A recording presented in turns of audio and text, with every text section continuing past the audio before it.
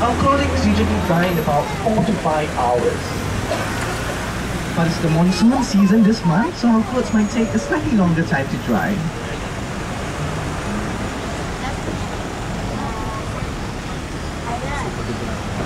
See that old car?